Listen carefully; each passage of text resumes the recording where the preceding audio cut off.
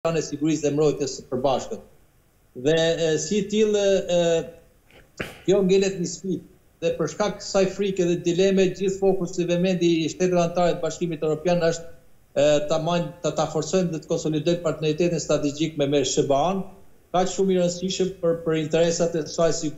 jetike dhe të sigurisë të këtij këtij bashkimi për Bashkimit Europian. Dhe Bashkimit Europian ngelet si sfidë pikërisht kjo ë, krijimi i një ushtrie të përbashkët dhe të mbrojtjes, e cila ngelet një si një projekt, por të cilët i përmbush këto detyra të saj në kuadrin e partneritetit të NATO-s me Bashkimin Europian, ai që quhet Berlin Plus, dhe sa herë që i kërkohet dhe kërcënohet Bashkimi Europian apo shtetet e caktuara të saj, kanë të drejtën e përdorimit solidar të të gjitha armatimeve dhe të gjithë atyre që lidhen me angazhimet e e tyre ushtarake, logjistike, dhe përimin e këtyre forcave në mbrojtje të interesave të tyre. Këto këtu është ajo që ngelet ngelet sfidë për për vendet e Bashkimit Europian. Mirë, zoti Elezi, ndjekim tjetër insert dhe më pas rikthehemi.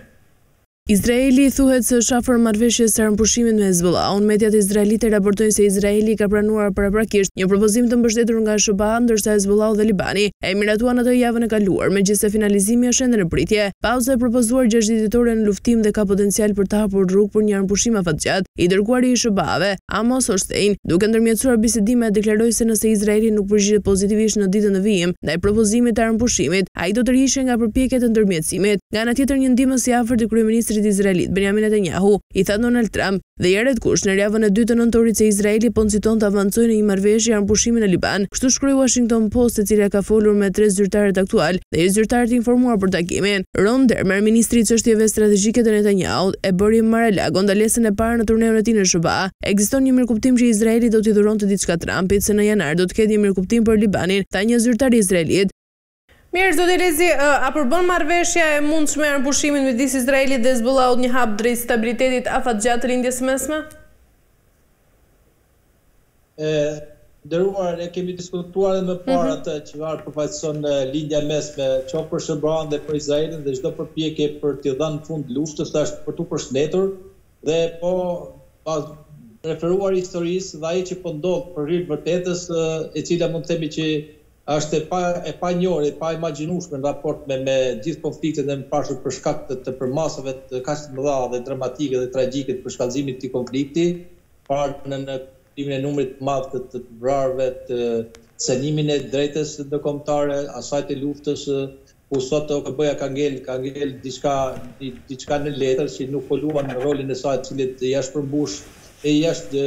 është ngarkuar me me me ligj ndërkombëtar për të luftuar por nuk ka ka dështuar ë në këtë rajon ka pas gjithnjë luftra paqe armëpushime dhe kuptohet ë armëpushimi është një një objektiv i cili don synohet të arrihet ë dhe pikërisht Ato të cilët kjo ka ka ardhur për shkak të asaj ë, se këtu kemi një një rënie të të të gjithë imazhit të të OKB-së ë, po ashtu edhe një jo vetëm asaj po edhe shteteve të caktuar të cilët proklamonin paqen, sigurinë dhe dhe mbrojtjen e drejtave dhe lirive themelore të njeriut siç ishte edhe modeli që i transmetonte